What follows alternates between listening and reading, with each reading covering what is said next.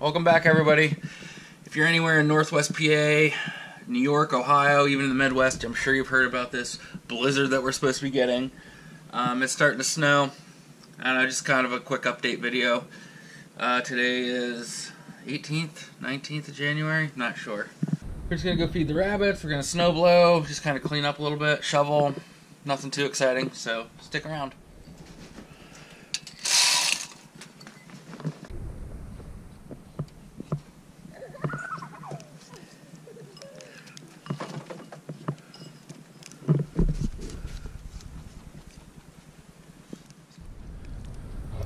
Let's go have some fun in the snow.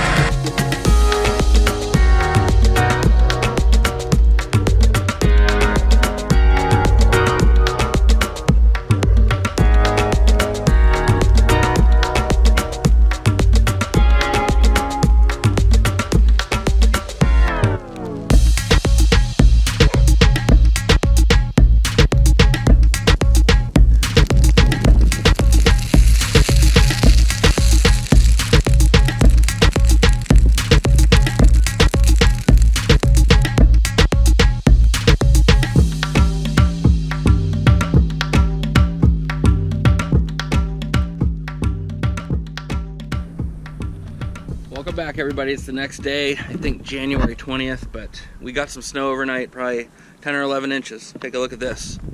But we survived the storm of the century, or so they called it.